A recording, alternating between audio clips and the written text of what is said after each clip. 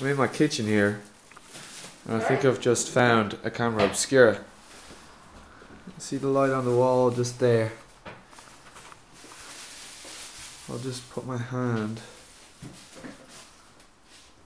and it's actually being projected upside down.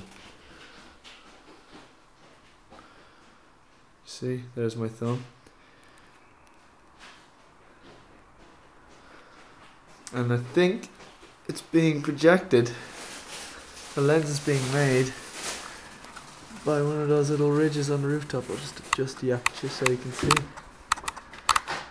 And the sun just passed over. So you can see those little ridges there.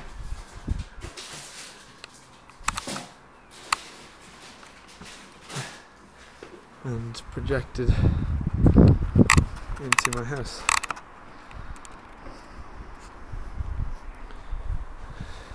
It's actually almost gone.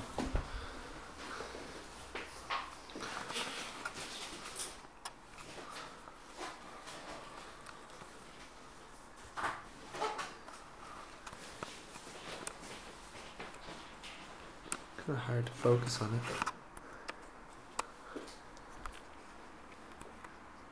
And that's my story.